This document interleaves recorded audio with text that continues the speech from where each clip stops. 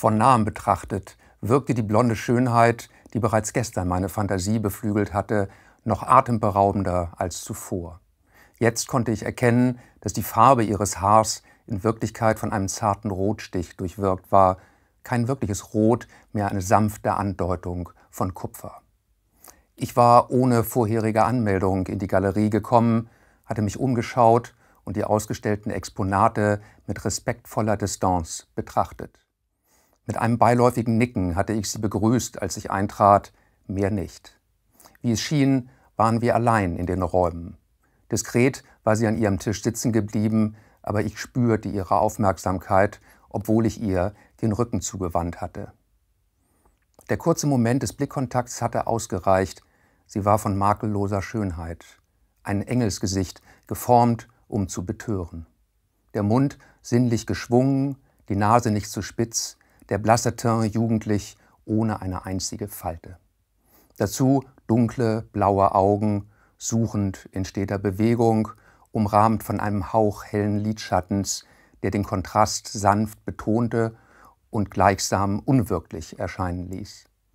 Aus unsichtbaren Lautsprechern schwebte dezentes Klavierspiel durch den Raum. Irgendwann stand sie neben mir, größer als ich angenommen hatte, zumindest brauchte sie keine hochhackigen Schuhe für die gemeinsame Augenhöhe. Ich verbarg meine Überraschung, wie nah sie mir gekommen war. Kein Wie kann ich Ihnen helfen oder das abgegriffen zweideutige Kann ich etwas für Sie tun? Nur ein charmanter, fast koketter Augenaufschlag, Unschuld versprechend, verführerisch ohnegleichen. Sie war sich ihrer Wirkung bewusst, das stand fest. Für einen Moment war ich versucht, meinen Blick an ihrem Körper hinabgleiten zu lassen, verbot es mir aber. Ich hatte bereits genug mitbekommen, der Hals etwas zu lang und gestreckt aus der weißen Bluse aufragend, zerbrechlich schlank wie ihre gesamte Statur, flachbrüstig und filigran, nicht mager. Ich versagte mir das weitere Taxieren und klammerte mich an ihre Augenbrauen. Nur eine Andeutung von rötlichem Schimmer, der ihre Augenpartie zur Stirn begrenzte, ein zaghaftes Lächeln nahezu, der Blick wie eine Einladung. Ich ließ ihn einen Moment auf mich wirken, regungslos, unbeeindruckt, soweit das möglich war, wartete mit den ersten Worten, die diesen vertraulichen Augenblick zerstören würden. Ich hätte gerne Frau Frank. Sie meinen sicher Frau Melchior. Die Stimme passte zu ihrer Erscheinung. Glasklar und sanft, ohne jede Schärfe, ihre Zähne blitzten kurz auf, Sie hob den Kopf ein wenig in den Nacken, als wolle sie ein Doppelkinn kaschieren. Es wirkte einstudiert, genau wie das gespielte Erstaunen, dem ein wissendes Lächeln folgte. Sie müssen Peter Baumann sein. Man sagte mir, ich würde Sie sofort erkennen. Das Klavierspiel erfüllte den Raum. Ich sah, wie sich ihre Brust bei jedem Atemzug hob und senkte. Wie hatte Annelies mich beschreiben können, nach all den Jahren? Ich hatte nicht einmal ein Foto geschickt. Woran erkennen? Als ob mein Interesse nicht schon geweckt gewesen wäre, fixierte ich sie fragend und tastete mich vorsichtig aus dem Tal der Sprachlosigkeit zurück auf den Boden belangloser Neugierde. Weil nur ich nach Frau Frank und nicht nach Frau Melchior fragen würde? Um ihre Mundwinkel zeichneten sich schelmenhaft lächelnde Grübchen ab. Nein, mir wurde gesagt, sie seien unvergleichlich. Schmeichlerische Koketterie. Wäre sie nicht so zauberhaft betörend gewesen, die Verlockung schlechthin, in die ich längst vernarrt war, der Anstand hätte mich bremsen müssen, aber ich konnte mir den krönenden Akzent dieser Versuchung nicht verkneifen. Und dem werde ich gerecht? Es kam zu keiner Antwort mehr, denn ihre Aufmerksamkeit galt plötzlich der Tür, die sich im hinteren Teil der Präsentationsräume öffnete. Dann steuerte Annelies mit wedelnden Armen schnellen Schrittes auf uns zu, was ich bedauerte, denn die unfreiwillig spannungsgeladene Plänkelei zwischen der charmanten Fee und mir war unwiederbringlich beendet, und sehr wahrscheinlich würde ich nie erfahren, welche Attribute mich enttarnt hatten. Andererseits verkörperte Annelies, wie sie auf mich zuhielt, den willkommensten Anlass eines personifizierten Flirtus interruptus, den ich mir vorstellen konnte. Schwarz war immer noch ihre Farbe. Sie trug ein dunkles Damastkleid im Tunikaschnitt, das über den Knien endete. Ich erschrak nur kurz, als ich ihre viel zu dünnen Beine sah, die aus flachen Schaftstiefeln herausragten. Dann erinnerte ich mich, dass sie auch früher schon so schlank gewesen waren, sehnig, muskulös wie bei einer Leichtathletin, genau wie ihre spitzen Knie. Über dem Kleid trug sie eine grob gehäkelte Jacke im Stil eines Ponchos, einer Stola gleich, sehr figurbetont und durch die großen Maschen so transparent, dass ich gar nicht anders konnte, als sie mir darunter nackt vorzustellen. Sie hatte sich so wenig verändert, war immer noch die androgyne Göttin, daran änderten auch ihre weißen Haare nichts. Als sie mich umarmte, weiteten sich meine Bronchien und ich spürte meinen Herzschlag. Sie wagte es nicht, mich auf den Mund zu küssen. Hatte ich das erwartet? Was hatte ich erwartet? Stürmische Leidenschaft? Ich war narkotisiert von ihrem Duft. Immer noch Fendi, der Name ihres Lieblingsparfums, fiel mir gerade noch rechtzeitig ein. Immer noch, wie schön, dass du dich erinnerst. In ihren Augen schimmerte es feucht, die Sommersprossen waren noch da, die schmale, leicht nach vorn geschobene Oberlippe genauso wie die markanten Falten zwischen Nasenflügel und Wangen, wenn sie lachte. Wo fangen wir an? Ihre Stimme zitterte. Ich bin seit zwei Tagen in der Stadt. Wie viele Jahre ist es her? Fast 24. 23 Jahre und 214 Tage. Hast du Buch geführt? Sieht so aus. Sie hielt meine Hände immer noch, machte keine Anstalten, sie loszulassen. Du hast dich kaum verändert. Was auf dich auch zutrifft. In der Tat hast du mich so gut beschrieben, dass ich, kaum war ich eingetreten, erkannt wurde. Annelies lächelte und ihre Oberlippe bog sich zu dem Schwung, der aus dieser Gesichtspartie die Nase eines Haifischs formte, was man aber nur sah, wenn man ihr Gesicht verkehrt herum betrachtete, wie ich es früher getan hatte, wenn sie sich auf dem Sofa ausgestreckt zu mir geregelt hatte. Ein Film, der vor meinen Augen ablief. Ihre Unterlippe war viel voller, reichte aber nicht bis zu den Mundwinkeln. Zusammen mit ihrem markant eckigen Kinn glich dieses Lächeln dem frechen Habitus einer amüsiert trotzigen Göre, wie es wie wäre es zur Begrüßung mit einem kleinen Streifzug durch unsere Stadt? Mila, kommst du alleine klar? Ich habe das Handy dabei, falls sich der aufdringliche Wüstensohn wieder blicken lassen sollte. Deine Stadt, lag es mir auf der Zunge. Natürlich willigte ich ein. Mir war es egal, wo wir uns nah waren.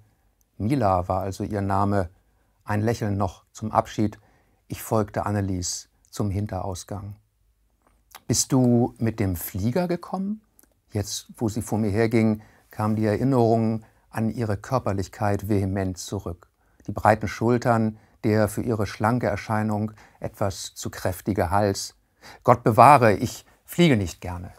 Ich erwähnte nicht, dass ich noch nie geflogen war.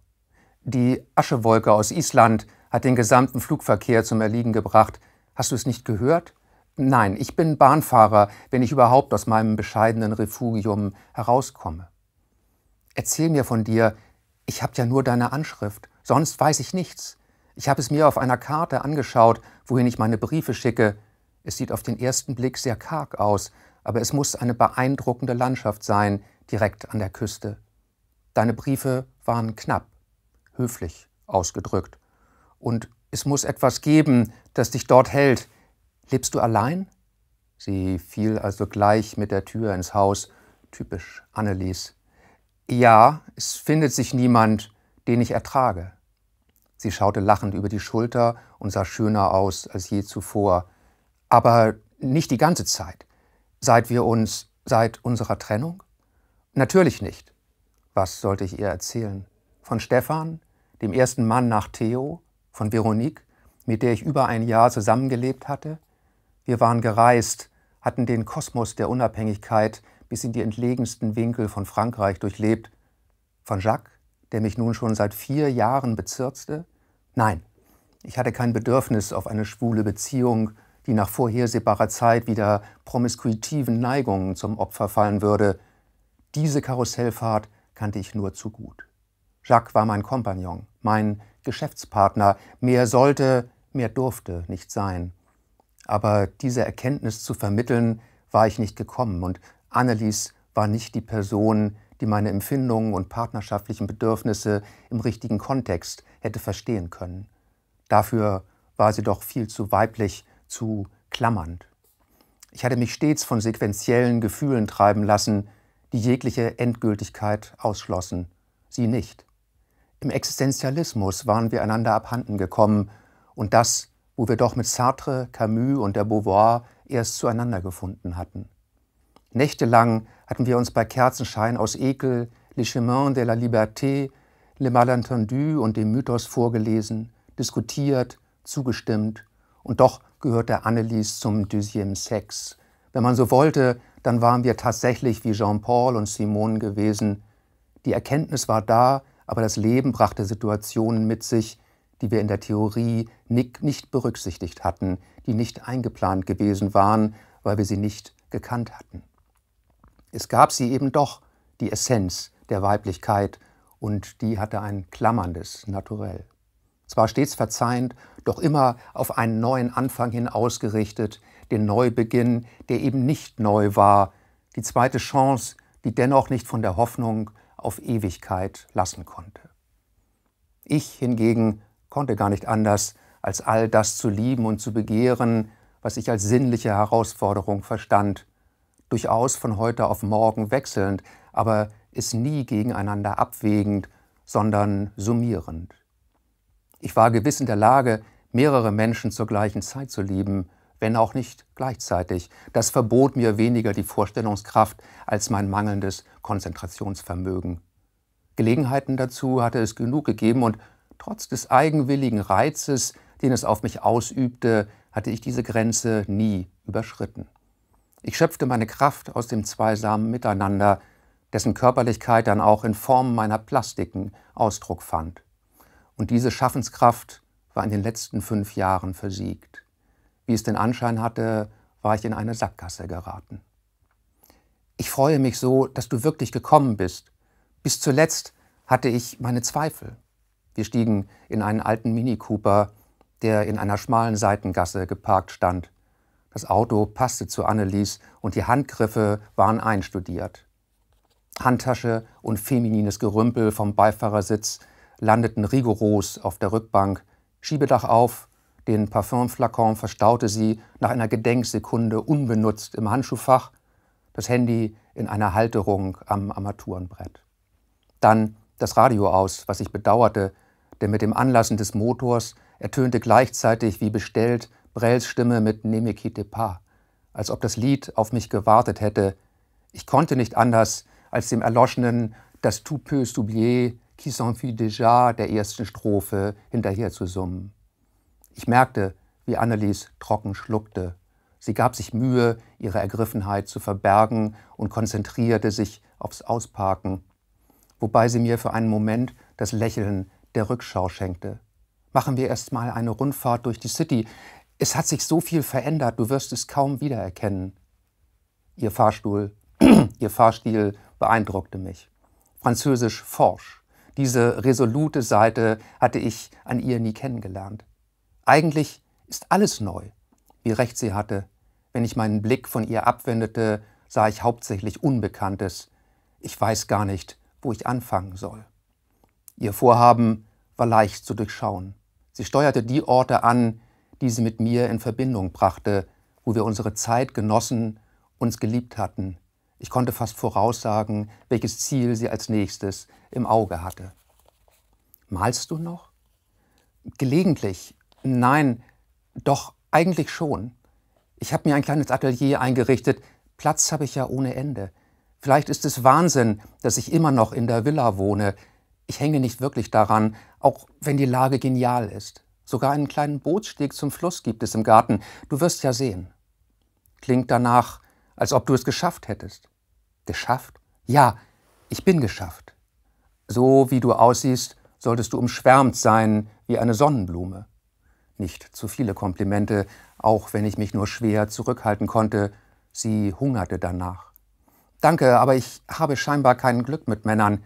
Der erste läuft mir weg, der zweite ist schwul und Nummer drei erliegt nach kurzer Zeit einem Herzinfarkt. Ich sollte die Finger davon lassen. Der erste ist gerade zurückgekehrt. Ich konnte es mir nicht verkneifen. Gekauft, würde ich sagen. Ich habe den Scheck noch nicht eingelöst, bis mir klar ist, was du für sechs Millionen erwartest. Nichts. Oder alles. Darüber sollten wir reden. Sollten wir das wirklich? Nein, es steht dir zu. Theo hat es so gewollt. Das hättest du mir auch schreiben können. Dann wärst du aber nicht gekommen. Wahrscheinlich hatte sie recht. Wie bist du überhaupt auf die Idee gekommen? So wie es für mich aussieht, benötigst du kein Geld. Warum also hast du den Brancusi verkauft? Ganz einfach. Im Februar ist ein Giacometti für über 70 Millionen weggegangen. Ich habe davon gelesen. Nur ein schlachsiges Wedeln mit den Armen. Ganz die Geschäftsfrau, da wolltest du es wissen, oder? Ich hatte ja zwei. Wobei der Giacometti sicherlich mit entsprechenden Expertisen den Besitzer gewechselt hat. Und Theo hatte bis auf seine Geschichte zur Herkunft der Brancusis keine Provenienzen. Ich musste herausfinden, was sie wusste, ob Theo es ihr gesagt hatte. Das wurde natürlich alles geprüft. Es gab nicht den geringsten Zweifel. Und sechs Millionen sind doch auch nicht schlecht, oder? Haifischnase. Ein kurzer Blick zur Uhr. Es kommt übrigens überhaupt nicht in Frage, dass du weiterhin in einem Hotel wohnst. Ab morgen, eine prüfende Ausschau, mehr fordernd als fragend, würde ich es begrüßen, wenn du bei uns wohnst. Ich habe mehr Zimmer, als ich nutzen kann. Ich fragte mich, wen sie mit uns meinte, und war ihr gleichzeitig dankbar, dass sie mir noch eine Nacht alleine im Hotel ließ.